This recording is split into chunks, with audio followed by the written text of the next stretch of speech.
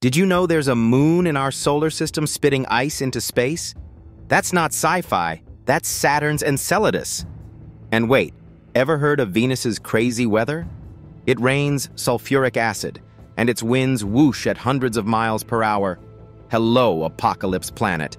Traveling to Jupiter, this giant ball of gas whirls so fast, its day is just 10 hours long. Blink, and the sun's already up in the west again. But here's the kicker. Uranus rolls on its side, looking like a bowling ball drifting through space. Scientists suspect it had a cosmic collision eons ago. And finally, our dazzling secret. Neptune, the solar system's deep blue wonder, has winds gusting more than 1,200 mph. It's literally a windy giant. Which of these cosmic wonders blew your mind? Comment your favorite below and hit that subscribe button for a new title and stellar journey every week.